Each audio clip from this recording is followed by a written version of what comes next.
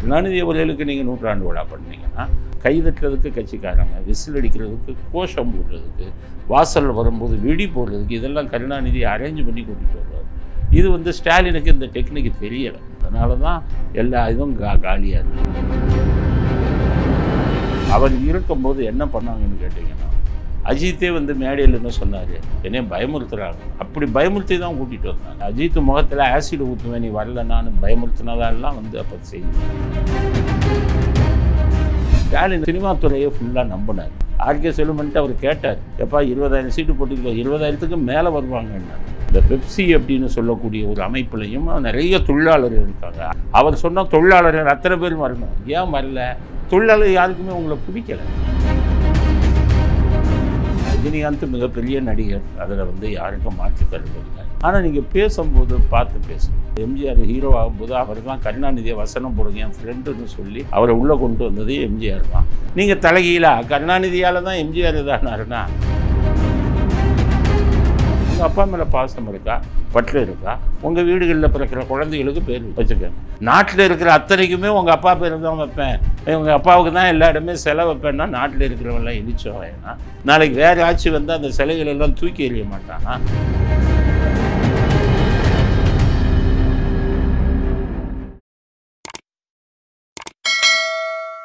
Sir வணக்கம் sir. வணக்கம். திமுக அப்படின்ற ஒரு பேர் எடுத்தோம்னா இப்போ சமீப காலமா வந்து மக்கள் மத்தியில வந்து ரொம்பவே ஒரு பெருசா பேசிட்டு இருக்குன்னா கலைஞர் நூற்றாண்டு விழா. ஸோ அது வந்து எவ்வளவோ பிளான் பண்ணியும் அந்த இடத்துல வந்து நிறைய சொதப்பல் ஏற்பட்டுச்சுன்ற மாதிரியான ஒரு பேச்சு போயிட்டு இருக்கு சார் ஸோ அதை எப்படி பார்க்குறீங்க சார் இல்லை நான் யாரையும் தாக்குறதுக்காக சொல்லலை. நூற்றாண்டு விழான்னு வச்சு நீங்கள் ஒன்று வைக்கணும்னா அரசியலிருந்து நீங்கள் மிகப்பெரிய சாதனைகளை செய்தவராக. இப்போ காமராஜருக்கு ஒரு நூற்றாண்டு விழான்னு வச்சிங்கன்னா அவர் எளிமையாக இருந்தார். அப்படிங்கிற ஒரு அரசியலில் நேர்மையாக இருந்தார் சம்பாதிக்கிறார் அவருக்கு ஒரு நூற்றாண்டு விழா வைக்கிறீங்கன்னா ஏற்றுக்கொள்ளலாம்.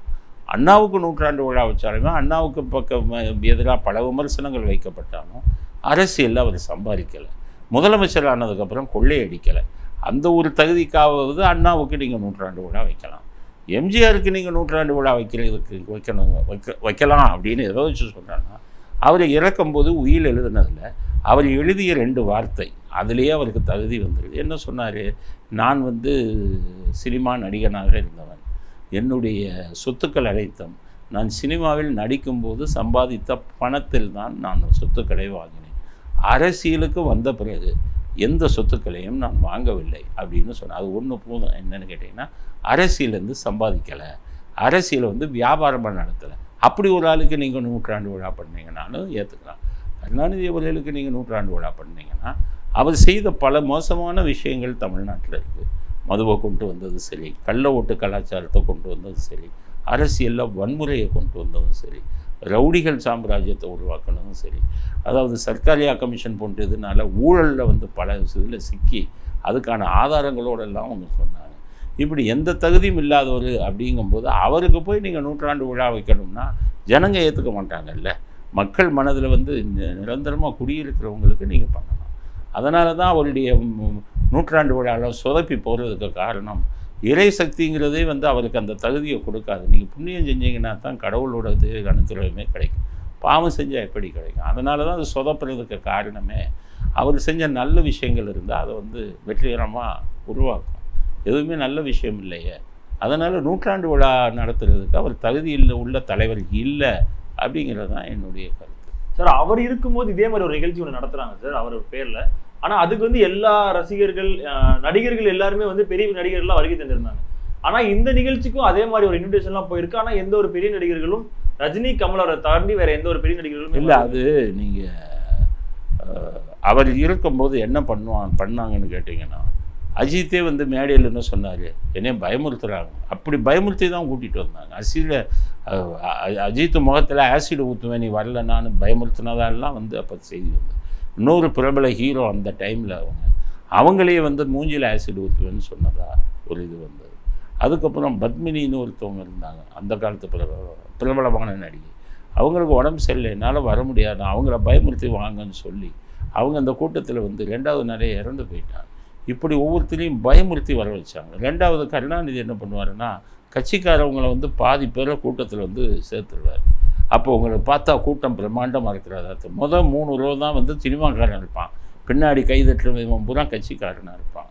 கைதட்டுறதுக்கு கட்சிக்காரங்க விசில் அடிக்கிறதுக்கு கோஷம் போடுறதுக்கு வாசலில் வரும்போது வெடி போடுறதுக்கு இதெல்லாம் கருணாநிதி அரேஞ்ச் பண்ணி கூட்டிகிட்டு வருவார். இது வந்து ஸ்டாலினுக்கு இந்த டெக்னிக் தெரியலை. கருணாநிதிக்கு தெரிஞ்ச அந்த டெக்னிக் தெரியல. அதனால தான் எல்லா இதுவும் கா காலியாக இருந்து காலியாக இருந்ததுக்கு காரணமே அதுதான். அவர் என்ன பண்ணுவார்? மொத்த மொத்த சீட்டு இருபதாயிரம் சீட்டு போட்டிருந்தாங்க அதில்.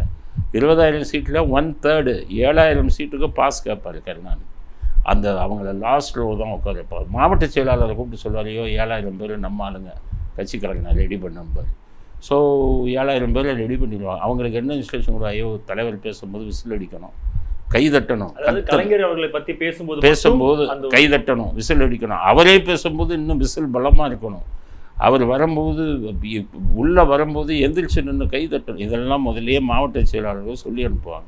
ஏழாயிரம் பேர் உள்ள விட்டாரா? மீதி பதினாலாயிரம் சீட்டு. ஒருவேளை இதுவும் வரலைன்னா என்ன பண்ணுறதுங்கும்போது என்ன பண்ணுவாருன்னா பத்தாயிரம் பேர் ரிசர்வில் வைங்கம்பார் மாவட்ட செயலாளர். பத்தாயிரம் கூ வந்து ரிசர்வில் வை. கூட்டம் கம்மின்னா நான் சொல்லுவேன் பத்தாயிரம் பேரை கொண்டாந்து இறக்கும்பார். இப்படி கூட்டப்பட்ட கூட்டம். இப்போ எம்ஜிஆருக்கு வந்து கிராமங்களில் எங்கே அவர் போனாலுமே எம்ஜிஆர் வருகிறார் அப்படின்னு ஒரு மைக்கில் அனௌன்ஸ் பண்ணிட்டு போவான். பத்து நிமிஷத்தில் பத்தாயிரம் பேர் கூடிடுவான் எங்கேருந்து வராங்கிறதே தெரியாது. காரணம் அவர்களுக்கு அந்த மாதிரி ஒரு செல்வாக்கு இருந்தது. இவருக்கு அந்த மாதிரி ஒரு செல்வாக்கு இல்லை. அது கருணாநிதி உருவாக்குனதெல்லாம் நீங்கள் சொன்னதெல்லாம் அது கூட்டி அவங்களே பிளான் பண்ணி திட்டமிட்டு பணத்தை கொடுத்து கூட்டுவாங்க. அதனால் ஸ்டாலினுக்கு அந்த கலையில் அவருக்கு தெரியலை. அவர் சினிமா துறையை ஃபுல்லாக நம்பினார். ஆர்கே செல்வமணியை நம்பினார். ஆர்கே செல்வமணிட்டு அவர் கேட்டார். எப்பா இருபதாயிரம் சீட்டு போட்டிருக்கோம் இருபதாயிரத்துக்கு மேலே வருவாங்கன்னார். ஆர்கே செல்வமணி பார்த்தீங்கன்னா அவர் டைரக்டர் யூனியனில் மட்டும் இல்லை இந்த பெப்சி அப்படின்னு சொல்லக்கூடிய ஒரு அமைப்புலையும் நிறைய தொழிலாளர்கள் இருக்காங்க. அதுலேயும் முக்கியமான பதவியில் இருக்கார். அவர் சொன்னால் தொழிலாளர்கள் அத்தனை பேர் வரணும். ஏன் வரல? தொழிலாளர் யாருக்குமே உங்களை பிடிக்கல. இப்போ நடக்கிற ஆட்சியுடைய விஷயங்கள் எல்லாம் மக்களுக்கு நிறைய பிடிக்கல. அதுவும் ஒரு காரணம்.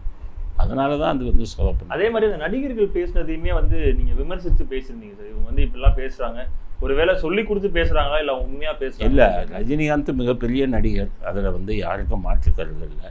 நல்ல மனிதர். அதை பற்றி இது இல்லை. அவர்கிட்ட நல்ல குணங்கள் இருக்குது பணிவான மனிதர். எல்லாமே நான் பாராட்டுறேன். ஆனால் நீங்கள் பேசும்போது பார்த்து பேசணும் என்ன சொல்றீங்க? சிவாஜி கணேசனை வளர்த்து விட்டவர் கருணாநிதி. அவர் வசனத்தால் தான் சிவாஜி கணேசன் பேரானார்னு சொல்லலாமா? சிவாஜி கணேசனுக்கும் ஒரு படத்தில் ஒரு வசனம் எழுதுனா பராசக்திங்கிற படத்தில் வசனம் எழுதினாருன்னு வைங்க.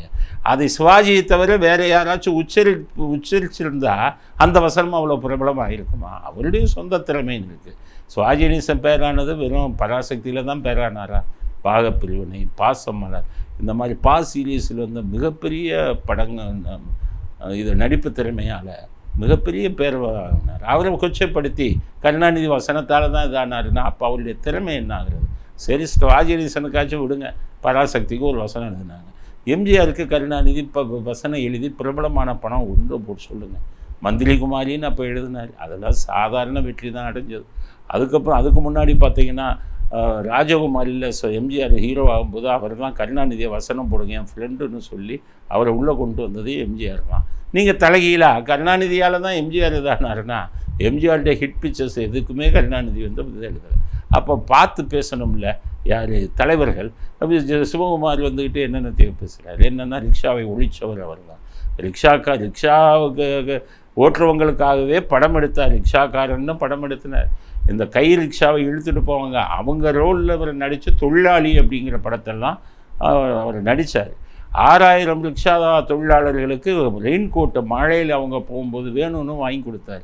இந்த ரிக்ஷா அவங்களோட வந்து நெருக்கமான தொடர்பு வச்சவர் இவர். இவர் சூர்யா வந்துக்கிட்டு கருணாநிதி தான் ரிக்ஷாவையும் ஒழிச்சார் அப்படின்னீங்கன்னா அப்போ இந்த நடிகர்கள் எல்லாம் சரித்திரத்தை படிக்கிறது இல்லை. மேடையில் வந்துட்டு அவங்ககிட்ட பேசி பேர் வாங்கணுங்கிறதுக்காக கண்டதையும் பேசுனா ஏற்றுக்கொள்ள முடியுமா? கமலஹாசன் வந்து பேசுகிறார் பல மாண்புகளை கொண்டவர்னு அவர் கருணாநிதியை பற்றி வந்து மேடைகளில் என்னென்ன பேசினாருங்கிறதுக்கு நான் வீடியோ எடுத்து கொடுக்குறேன்.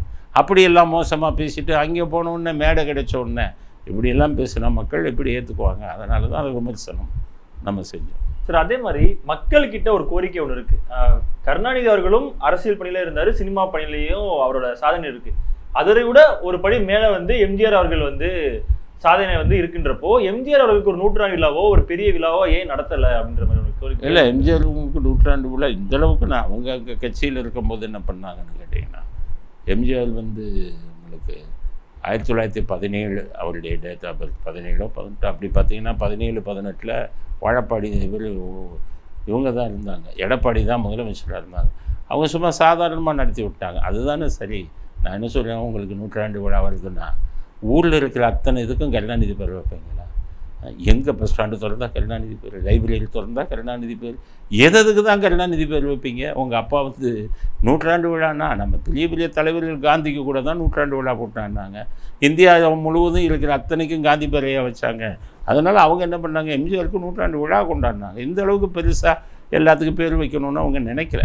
இவர் வந்துக்கிட்டு அப்பா மேலே இவருக்கு பாசமாக இருந்தால் எல்லாத்துக்குமே நீங்கள் பேர் உங்கள் பேர்லேயே உங்கள் அப்பா பேர்லேயே வச்சிங்கன்னா மக்கள் எப்படி ஏற்றுக்குவாங்க அதனால் இப்போ பாருங்க மாடத்திட்ட முன்னாடி போகிறாங்க பண்ணிக்கிட்டு எங்கள் அப்பா இதில் சிறு இதில் நாடகத்தில் நடித்தார் இங்கே ஒரு செலை வைக்கணுங்கிறாங்க. அப்போ என்ன அர்த்தம்? உங்கள் அப்பாவுக்கு இது எண்பது அடியில் வந்து அங்கே போய் சிலை வைக்கணுங்கிறாங்க. பீச்சு கடல் உள்ள. இப்போ எல்லாமே அப்பா புராணமே பாடிக்கிட்டு இருந்தீங்கன்னா மற்றவங்க அப்படி பண்ண மாட்டாங்க. ஏன்னா அது ப- தப்பு இல்லை. அது மனசாட்சிப்படி பெரிய தலைவர் இருந்தால் மரியாதை கொடுக்கலாம். ஒரு செலவைக்கலாம் அவ்வளோ நீங்கள் பண்ணுற கூகுதில் பார்க்கும்போது தான் நீங்கள் பண்ணுறது வந்து இயற்கைக்கு மாறானது. அதுக்கு அவர் பொருத்தம் இல்லாது இத்தனை இது இத்தனை இதுக்கு அவர் வந்து எப்படி ஏற்றுக்கொள்ள முடியும்? உலகத்தின் சரித்திரத்தெல்லாம் எடுத்தீங்கன்னா தனக்குத்தானே பேர் வச்சு இது பண்ணிக்கிட்டவங்கெல்லாம் அழிந்து தான் போயிருக்காங்க. இடி அமீன்னு சொல்லி உகாண்டாவில் ஒரு பெரிய அதிபர் இருந்தார். அவர் எல்லா இடத்துக்கும் தான் பேரையே வைப்பார். அவருக்கு சிலையை வந்து அவரே திறந்து வச்சார். கடைசி மக்களால் அடித்து கொல்லப்பட்டார் உகாண்டாவை சேர்ந்த அதே மாதிரி தான் லிபியாவை சேர்ந்த கடாஃபிங்கிறவர் மிகப்பெரிய நல்லதுகளை செஞ்சார் அவர். ஜனங்களுக்கு பெட்ரோல் ஃப்ரீயாக கொடுத்தார் எலக்ட்ரிசிட்டி ஃப்ரீயாக கொடுத்தார் எஜுகேஷன் எல்லாம் கவர்மெண்ட் ஃபீஸ் கட்டிடணும்னு வச்சார். இவளையும் வச்சுட்டு கடைசி என்ன சொன்னார்? அவர் பேரை சொல்லணும்னாரு. மக்கள் அடிச்சு கொண்டாங்க. இரணியன் கதை நீங்கள் எடுத்துட்டாலே இரணிய புராணம்ங்கிறது என்ன? இரணியான மகன் சொல்லுங்கன்னு சொல்லி அந்த மன்னன் தன் பேரை சொன்னான். அவனுடைய சொந்த பையன் பிரகலாதனே முடியாதுன்னு சொல்லி ரெண்டு பேர்த்துக்கு இதாகி. அப்போ வந்து நரசிம்ம அவதாரம் எடுத்து இறைவன் வந்து நம்ம நிறைய பேரை வந்துக்கிட்டு இரணியனை அழித்ததாக தானே வரலாறு. யாருமே நான் தான் பெருசு எங்கள் பேரை சொல்லுங்கள் எங்கள் புராணம் பாடுங்கன்னு சொன்னவர்கள் எல்லாம் அழிந்து தான் போயிருக்காங்க. அதனால தான் இவருக்கு கடுமையான கண்டனத்தை சொல்லு உங்கள் அப்பா மேலே பாசம் இருக்கா? பற்று இருக்கா? வீட்டில் தவசம் வைங்க. வீட்டில் வந்து அவருக்கு இது வைங்க. உங்கள் வீடுகளில் பிறக்கிற குழந்தைகளுக்கு பேர் வச்சுருங்க வச்சுக்கோங்க நாட்டில் இருக்கிற அத்தனைக்குமே உங்கள் அப்பா பேர் தான் வைப்பேன். உங்கள் அப்பாவுக்கு தான் எல்லா இடமே செலவு வைப்பேன்னா நாட்டில் இருக்கிறவங்களாம் இழிச்சோ வேணா. நாளைக்கு வேறு ஆட்சி வந்து அந்த சிலைகள் எல்லாம் தூக்கி எறிய மாட்டானா? அந்த பேரெல்லாம் மாற்ற மாட்டானா? அப்போ இதெல்லாம் செய்யத்தானே செய்வாங்க. அதனால தான் சொல்லி இவங்க செய்யக்கூடிய எதுவுமே ஏற்றுக்கொள்ளக்கூடியதாக இல்லை. அதுக்காக தான் நாங்கள் வந்து எதிர்ப்பு தெரிவிக்கிறோம். நன்றி sir. Thank you so much sir